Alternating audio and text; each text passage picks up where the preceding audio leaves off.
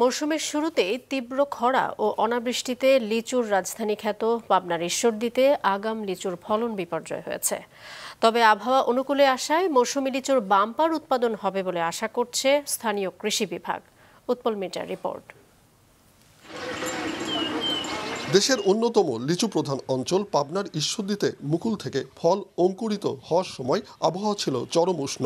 মৌসুমের শুরুতেই ছিল তীব্র খরা। এ কারণে এ অঞ্চলের অধিকাংশ বাগানে ঝরে গেছে আগাম লিচুর মুকুল। ঈশ্বরদীর জয়নগরে উঠতে শুরু করেছে আগাম দেশীয় জাতের লিচু।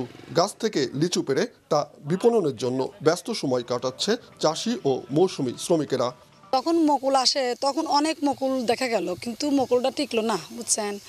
এখন লিচুটা পাতলা। প্রথম পর্যায়ে বেচা কেনা হয়েছে এখানে আঠাশশো তিন হাজার। এখন বেচা কেনা হচ্ছে হচ্ছে গিয়ে ছাব্বিশশো চব্বিশশো তেইশশো এরকম। এখন বর্তমান যে লিচু আছে তাতে ফলনের বেলায় কম হবে দাম একটু বাড়তি দেখা যাচ্ছে। একমাত্র ওয়ালটন এসি দিচ্ছে এক বছরের রিপ্লেসমেন্ট গ্যারান্টি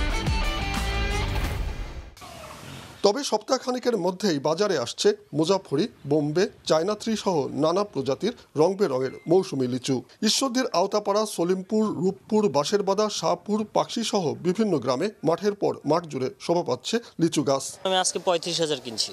হয়তো বা কালকে আরও বেশি কিনবো। আর দাম আগের থেকে একটু বেশি বেশি বেশি না আগে একটু বেশি। গত বছর অনেক টাকা মানে প্রত্যেকটা কৃষকের অনেক টাকা লস গেছে। কিন্তু এবার যদি এই দামটা থাকে তাহলে হয়তো কিছু লাভের আশা দেখতে পাবে। জেলা কৃষি সম্প্রসারণ বিভাগ জানায় চলতি বছরে পাবনায় লিচুর আবাদ হয়েছে চার হাজার সাতশো একুশ হেক্টর জমিতে। উৎপাদন লক্ষ্যমাত্রা ধরা হয়েছে পঁয়ত্রিশ হাজার মেট্রিক টন যার বাজার মূল্য প্রায় দেড়শো কোটি টাকা। আমরা আশা করি আমাদের পঁয়ত্রিশ হাজার মেট্রিক টন আমরা লিচু পাবো, যার বর্তমান বাজার মূল্য দেড়শো কোটি টাকারও উপরে।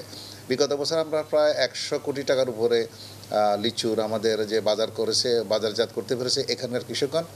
এ অঞ্চলের প্রধান অর্থকারী ফসল লিচুর অভ্যন্তরীণ বাজারের পাশাপাশি আন্তর্জাতিক বাজার সৃষ্টির দাবি স্থানীয় চাষিদের।